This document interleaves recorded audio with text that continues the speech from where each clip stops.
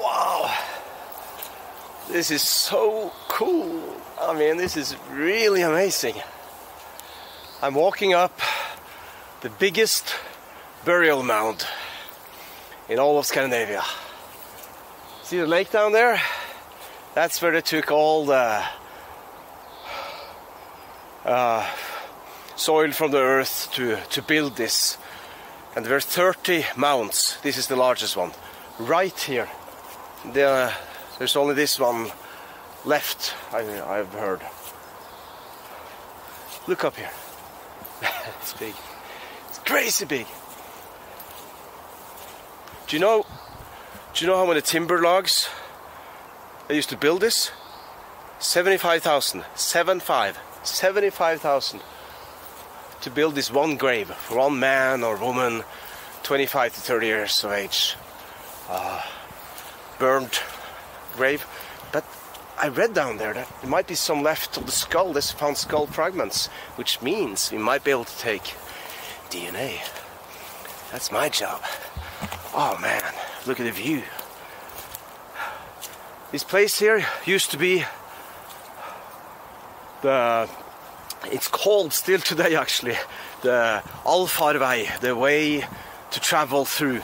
So imagine you came up here, Hovin it's called, uh, the place where you have the Hov.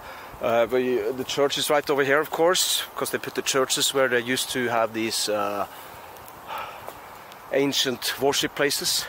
So you would come up here from Oslo on the way to Trondheim, and uh, there would be 30 graves surrounding you that you're passing on your way up. Man, let's go on the top here. And they have done excavations here. Not enough. I think there's a ship down there. Look at this. See the lake down there? Row down to Oslo. This area is called Raumerike, Romerike, which means the kingdom of the Romans. That's kind of weird, huh?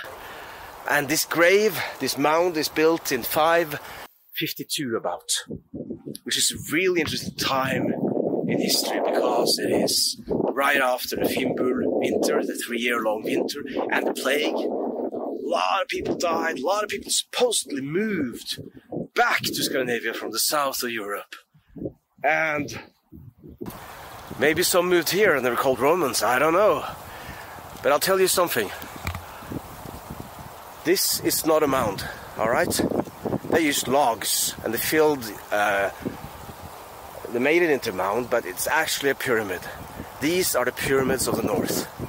Alright, 75,000 timber logs are we standing up here, built like a pyramid. And this is in the 6th century, and let me ask you one thing.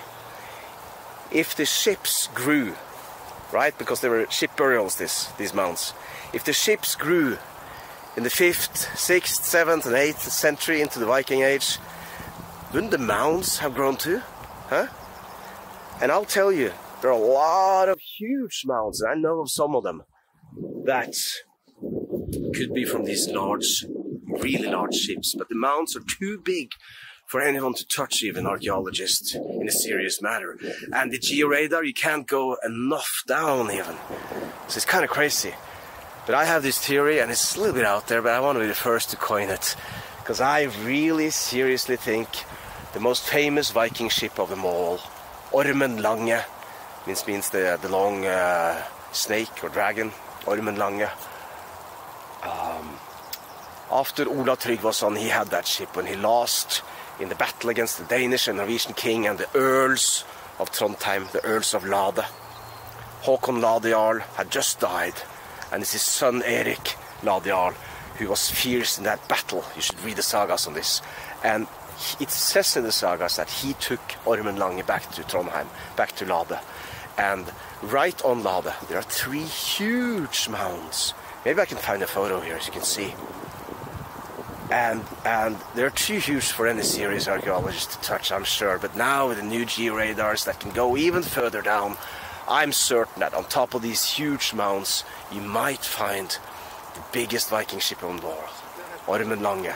And you imagine all the logs to build a pyramid over that, huh? I mean, we're talking the pyramids of the north.